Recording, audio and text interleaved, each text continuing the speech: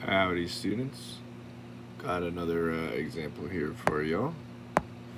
Um, so we are asked to find the volume of the solid obtained by rotating the region bounded by y equals x squared, y equals 4, x equals 0, x equals 2, about the y-axis. Uh, so the first thing is I want to look at our region here that I've already sketched out. Um, we see that we have little parts of our oops, I'll use a different color here. We have different parts of our parabola that are not included, right? Which tells me that we're probably going to have to use the washer method. Uh, and if you remember, the formula for the volume using the washer method is the integral from a to b of the outer radius squared minus the inner radius squared. Oops.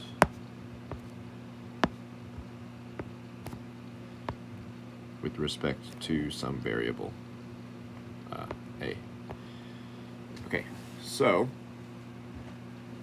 what I need to do first is I need to identify my outer and my inner radius.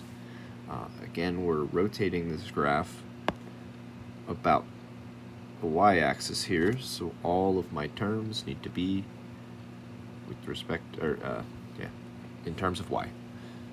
So I've already gone ahead and done that here. We see that we get x equals square root of x, and now we just need to identify where to plug in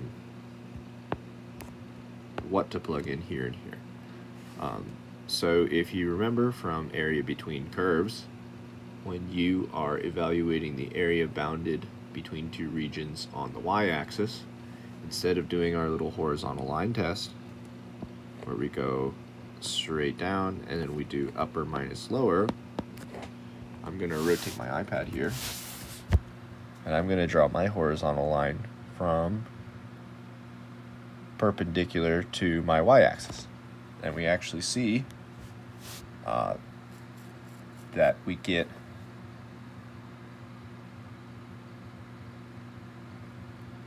I'm to actually erase this so that it makes sense for what I'm about to say.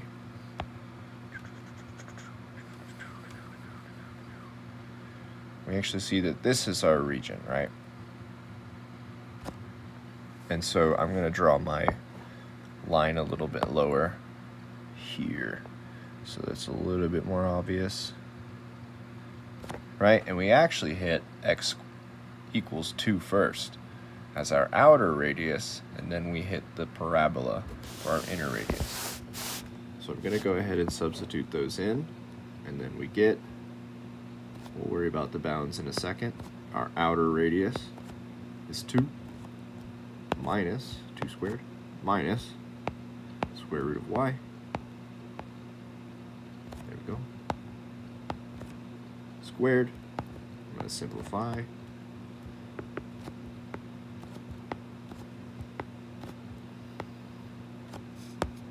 Four minus y. Cool. Oh, apologies, pi.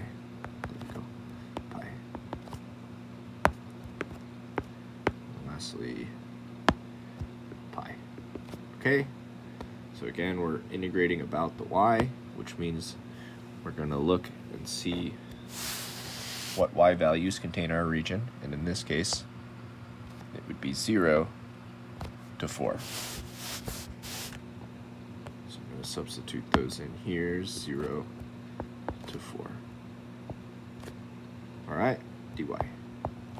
And the last thing we need to do is just evaluate our integral here. So I'm going to keep the pi on the outside. The integral of 4 is 4y, and the integral of y is y. Come on, come on. Squared. Come on, over 2. On the bounds. Sorry, guys. 0 to 4. Alright, so I'm going to go ahead and kind of break it up a little bit so that we can see what's going on.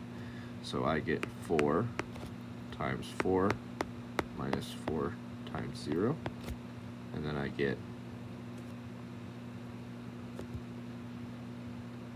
4 squared over 2 minus 0 squared over 2, which gives me 16.